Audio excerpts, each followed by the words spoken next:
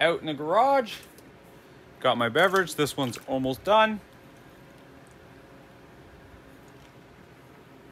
Done. Um, so yeah, out in the garage.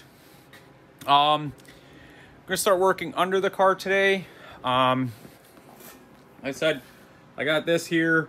Um, I want to get the anchors welded in and then start cleaning up all the stuff, do the finish thing, uh, finishing the seam sealer, um, and then we can do the POR 15 under there. I got a wire brush on the drill to clean up the rust. The other thing is, is I picked up um, the homemade stands from my friend Tommy, who owns, you guys might know him. Uh, she's Foxy. Uh, Tommy, he's got the black four-eyed hatch with the gold wheels, uh, SVE wheels on it, and he calls it calls her She Foxy. Um, he's actually doing a turbo On 3 turbo kit on his car this winter, so we'll have some stuff on that later in the year. Still dropping stuff. So I got the stands, so the car's up on the stands, so we can get under there. Uh, as you can see, I found a different color red. So this one's a bit darker, more closer to the to the car. So I'm messing around. I this is what I do, guys. You know how me? I know I have no patience to see how things gonna look. Um, so I just man, I'm gonna have to resand the whole car anyways. Um, but I just I don't know. I found a different color red. Maybe we'll spray bomb it. I haven't decided. I'm just messing around.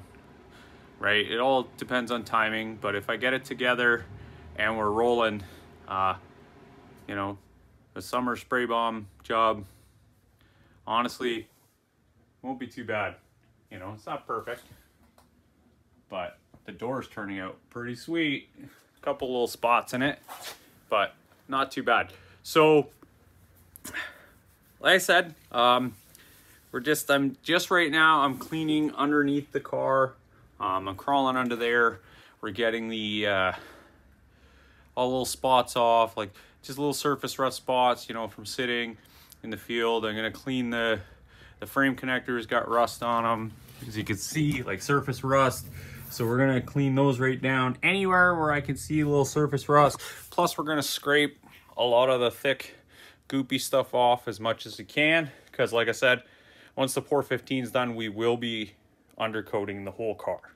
All right guys, back out here uh, Sunday um, after doing the seam sealer and stuff. That is all um, all done. So today the goal is to get the seat anchors welded in and then I started undercoating the car. I don't know if you can see it. You should be able to. So I started doing an undercoat under the whole car. Not where the seats are, but just to kind of get everything cleaned up. And uh, we get right under here so you guys can see. See, so I've got all of it in there. It's wet right now. So, um, you know, if you're gonna do undercoat in your garage, guys, put a board down because it just falls right on the floor. So it gets everywhere. So wear gloves, things like that. And uh, yeah, so I just kind of doing some undercoating just under everything. Um, just so, sorry, just so I know the floors, everything's done. And then, like I said, we can just focus on all the other body work and things like that. Um, so I'm just going to continue on. I'm going to get set up, get ready to uh, put the seat anchors in. So those are done. And then, uh, then we'll finish uh, undercoating the underneath. So that stuff can dry and then we're, we're good for under there. I tried a different color, I got the clear coat on here. So different color. Uh, this is a deeper, darker red. Um, it's actually international red. So I'm trying this out just to see what it'll look like. So I'm gonna let the clear sit overnight till tomorrow. Then I'll try wet sanding it and see what it turns out like. Like I said, it's just a spray can. But uh, we're making pretty good progress. I'm very happy with how the underneath of the car looks now. It like almost looks factory aside from where the cut lines are. So it actually turned out really well. Um, once I set, like once I'm done with the undercoating and done with everything, we'll go under there and we'll show you guys exactly what it looks like. You've seen before.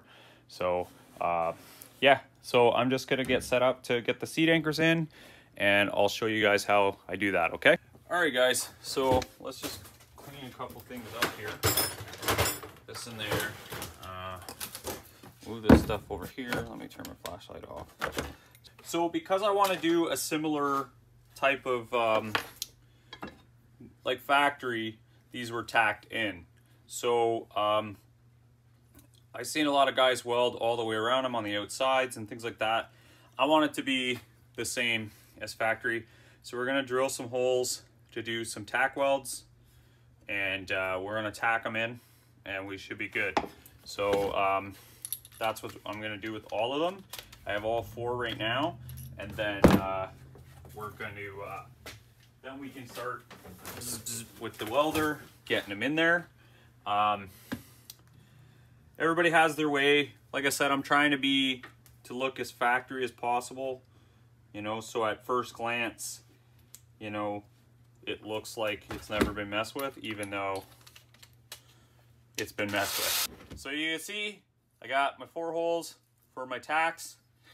Um, I'm gonna grind it up with the grinder. I gotta grind the floor and then we'll start getting the welder set up. Pretty much ready to start welding the bracket in. So I'm gonna show you, I'm using a nut as a spacer to help hold it up with the original seat bolt nut that I have.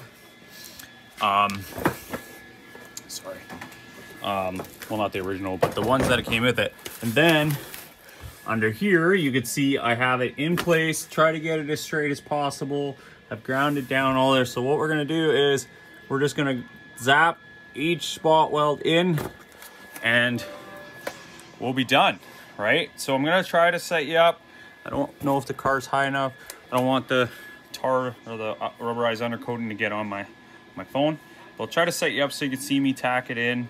If not, we'll be back after it's tacked in, okay? Uh, flashlight still under here? No. All right. So, anyways, hopefully you can see that. That one's in.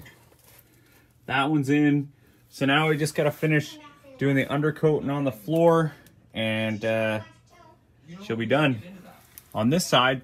Then we'll have to move to that side and uh, get it sorted out. Um, and then go from there. Then we can start putting the seats in there and after once I get the carpet and everything. But like I said,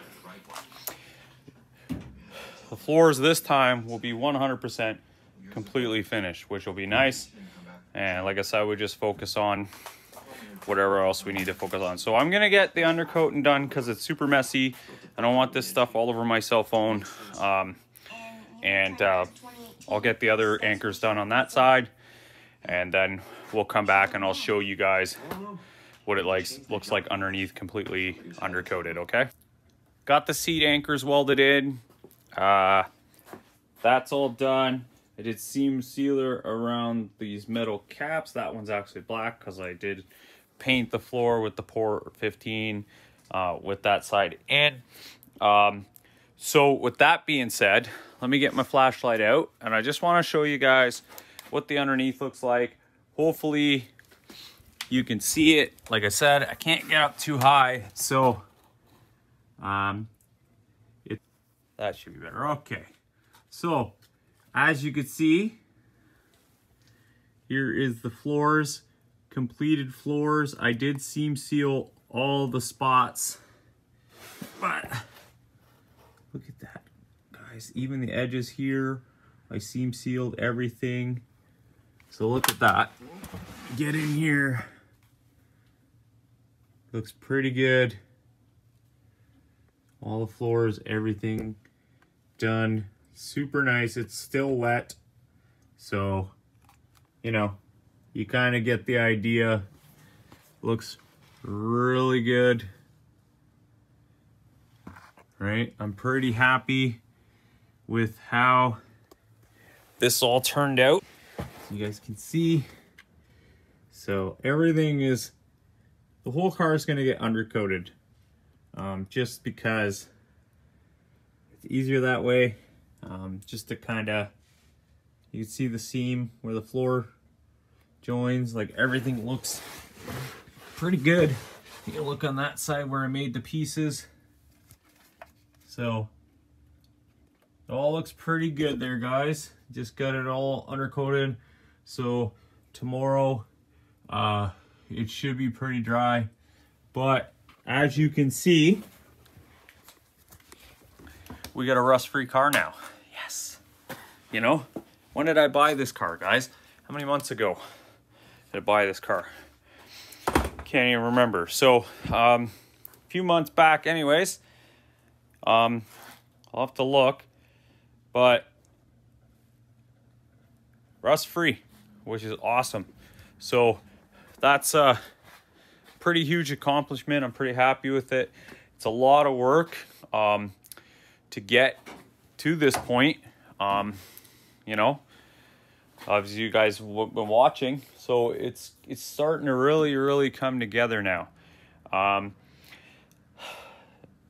you know, I'm working on the body work now, but the fact that the floors are 100% done next week, um, we'll finish the sound deadening here, um, and then we can start essentially uh, putting the interior back in. So permanently putting the dash in, the wiring, all that stuff. I have all the wiring here. Um, just to start getting ready to put the car together. Um, the other thing is maybe we paint it first. I am messing around with some stuff. Um, but I'm still leaning towards actually painting it at the shop with a paint gun instead of a spray can. But um, I haven't decided, right? So it all depends on what happens. Um, time frame, like uh, I don't know if I'll paint it myself or Mike will do it. Um, I feel more confident with Mike doing it, but I still do have to do a lot of body work um, on the car. It's not horrible, but to make it perfect, I still got to fix the dent on the other side. This door still needs a little bit of work. Although it does look pretty good, it does need work.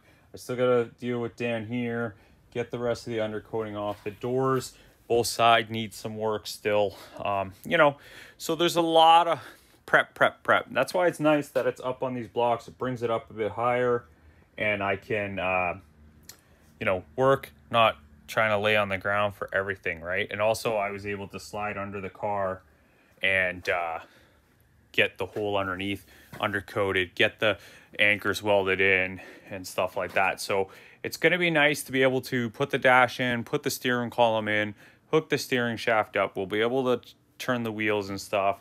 Um, and eventually just get this car happening. You know what I mean? Um, got a transmission coming, like I said, but uh, yeah, it, it I like how it looks under there. It looks pretty good considering you know it's two piece floor pan. I did want to do a full floor pan, but unfortunately, um, it was just too expensive, guys. Like sometimes you got you know you get these things in your mind and you want to do it, and I probably could have saved and waited.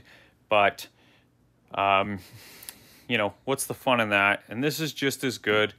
And who knows, maybe if there's an issue down the road, you know, maybe later on I can cut it all out again and put a new full floor pan in. Because if realistically, if we did a full floor pan, you wouldn't have those seams and it'd be rust free. And it's rust free now because I cut all the rust out of it. So, um, you know, it's pretty good. So with that being said, that's kind of all I'm doing today. Um, something for midweek uh, for you guys uh, to to watch. And uh, I still haven't patched that hatch yet, so maybe that'll be next video. Um, and I'm still trying to get fenders because I want to start putting everything on. Um, and lining everything up because I'm ordering those um, those sanding blocks so we can start sanding nicely, like getting this thing prepped out. It will be all in primer, and then we'll decide what we're gonna do with paint. Um, so it will be staying red, guys. Um, if anybody was wondering, I've decided to leave the car red, so that's why we're testing with red. I did have some other ideas about doing different colors, like a dark gray or an auto gray, but um, I'm not that confident in my bodywork. so um, we're gonna leave her red. It's a little bit easier to paint it red than it is to change the color on it, even though we are this far down.